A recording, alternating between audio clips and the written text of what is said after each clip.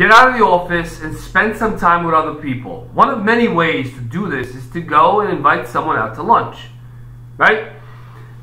If there are challenges and the air needs to be cleared, you can invite someone out to lunch, spend an hour with them, or a little bit longer if needed, and address the issues one on one. If there are areas where there's misalignment between two functional areas, you can do the same. If there are areas for potential great collaborative opportunities, you can do the same thing over lunch or a cup of coffee if there's not enough time to do that. But my intent is to urge all of you to get out of your offices or your cubicles or away from your desks, whatever your functioning environment might be, because there's always more work. There's always more emails coming. I'm guilty of often bringing something from home and sitting in my office, locking myself in for 20 or 30 minutes so that I can answer another dozen emails, right? And they will keep coming. I will never win that game. Yeah, I'll get to inbox zero for an hour and then all of a sudden there's 50 new ones that came in.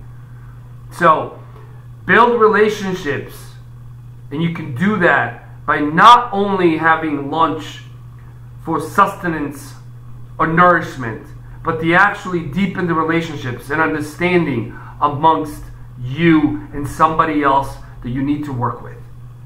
This is applicable to your companies, your internal environments, as well as your partners and your clients. Go out there, meet people, learn more about them that you know, learn things that extend beyond their functional professional responsibilities and contributions. Because that's how you can start relating to one another and understand the logic behind a particular position or a stance that they hold. Why are they there and how you can help them potentially see it your way, or you can see their way and understand and maybe evaluate whether that's a better opportunity to consider. Or if you can meet somewhere in the middle. Invest time to meet with other people and learn about them and be frank, honest, and clear any issues. Trust me, in an hour long lunch with, with two right you can have more than two, you can have three, four, five, whatever. But generally, it's one on one when there are big issues or big strategic needs that need to be considered. In that one hour, you're going to accomplish more than in dozens of emails over weeks and in times months. Give it a shot if you haven't. I do it. I don't do it regularly enough. And I'm going to be more intentional about it myself in the upcoming months and years.